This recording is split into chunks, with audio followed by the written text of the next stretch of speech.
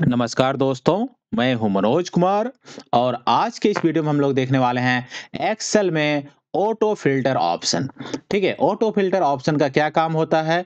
अगर आप में डेटा में कुछ भी अपडेट होता है तो डेटा जो है ऑटोमेटिक फ़िल्टर हो जाएगा। ठीक है, जैसे कि मैं एग्जांपल पे के तौर पर यहाँ पे बता रहा हूँ, अगर आप नॉर्मल फ़िल्टर करते हो तो क्या करते हो? यहाँ पे डेटा में जाते हो और यहाँ पे फ़िल्टर ऑप्शन लगाते हो। ठीक है?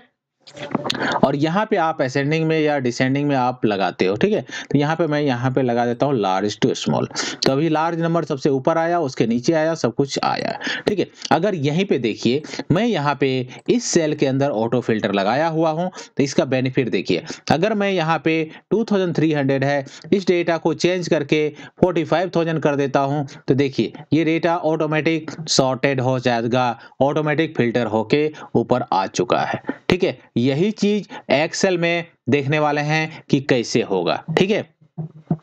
तो उसके लिए हम लोग चलते हैं वीडियो की ओर, देखते हैं कैसे होता है। मैं एक ब्लैंक सीट पे जाऊँगा और इस सीट में जो है आपको मैं एक्सेल में ऑटो फ़िल्टर ऑप्शन लगा के बताता हूँ कि कैसे काम करता है।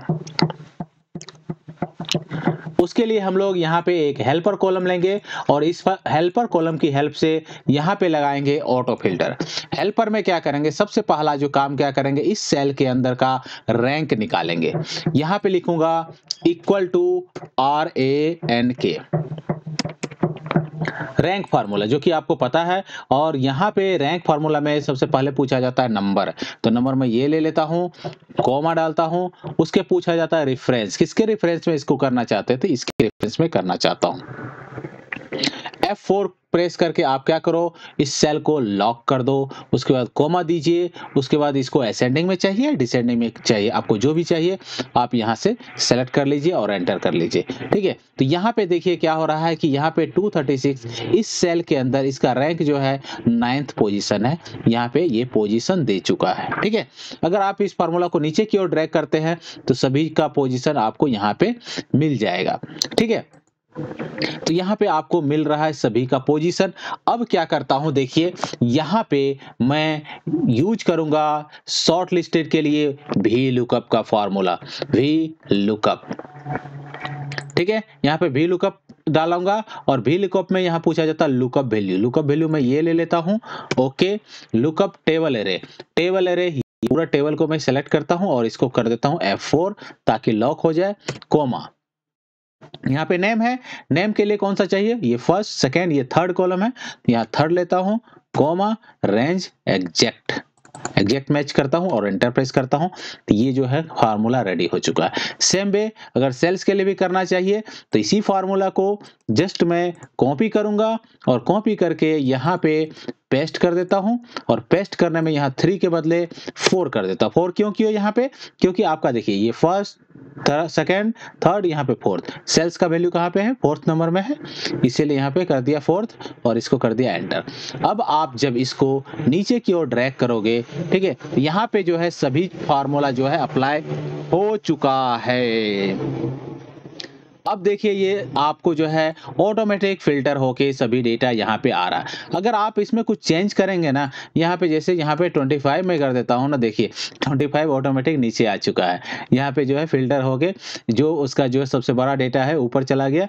सेल्स और सबसे नीचे छोटा डेटा जो ऑटोमेटिक नीचे आ रहा है। यहाँ पे टू कर रहा हूँ ना, देखिए। 250 ऑटोमेटिक एडजस्ट हो गया अपने पोजीशन पे। ठीक है? तो यहाँ पे तो ये तो हो रही है। एक चीज़ और इसमें आपको प्रॉब्लम आ सकती है। क्या प्रॉब्लम होगी? देखिए, अगर यहाँ पे 250 250 टू टाइम्स लिख दिया तो क्या हो रहा है? यहाँ पे एरर आ जा रहा है। एरर क्यों आ रहा है? अगर आप देखिए, यहाँ पे सेवन नंबर सेवन नंबर दो डेटा आ गया क्योंकि दोनों का पोजीशन सेम है। दोनों का वैल्यू सेम है सेल्स का वैल्यू तो एक वैल्यू ले लिया, दूसरे को छोड़ दिया। फ़र्स्ट वाला ले लिया सेकेंड वाले को छोड़ दिया। और यहाँ एट नंबर यहाँ पे है ही नहीं, इसीलिए यहाँ पे एरर आ चुका है। इस एरर को हटाने के लिए क्या करेंगे? देखिए, आप जो है इस फॉर्मूला को थोड़ा सा यहाँ पे प्लस कर दो और यहाँ पे लिखो काउंट इफ़ क्या लिखेंगे? काउंट इफ़ और काउंट इफ़ फॉर्मूला डालते टाइम ध्यान रखिएगा। क्या करना है इसको? जब आप काउंट इफ़ डालोगे तो यहाँ पे रेंज पूछा जा रहा है तो रेंज आप इसको सेलेक्ट कर लो और यहाँ पे कोमा दे के फिर से वही रेंज सेलेक्ट कीजिए और फ़र्स्ट वाला जो है D2 इसको क्या करो F4 प्रेस करके इसको लॉक कर दीजिए, ठीक है? और सेकेंड वाला को ऐसे ही छोड़ दीजिए और क्रेट एरिया में भी आप इसी को ले लीजिए, ठीक है? और इसके बाद ब्रैकेट को क्लोज कर दीजिए एंटर प्रेस कीजिए, देखिए क्या होता है अभी। अभी के केस में क्या होगा? एरर तो चला गया। फ़र्स्ट वाला एरर आ गया। मतलब कि इस सेल के अंदर फ़र्स्ट नंबर नहीं है। फ़र्स्ट नंबर होना चाहिए। फ़र्स्ट नंबर लाने के लिए यहाँ से स्टार्टिंग हो रहा है सेकेंड से हो रहा है। तो आप क्या करो, यहाँ पे जब आप जा रहे हो फ़र्स्ट सेल में फ़र्स्ट सेल का एडिट कीजिए फार्मूला और इसमें जाके माइनस वन कर दीजिए, ठीक है?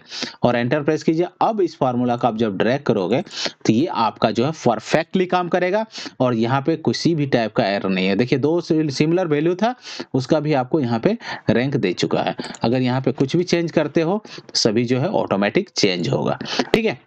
तो क्या था, क्या किया, सब कुछ आपको पता चला।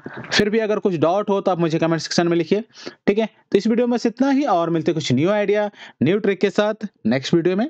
तब तक के लिए धन्यवाद। Thank you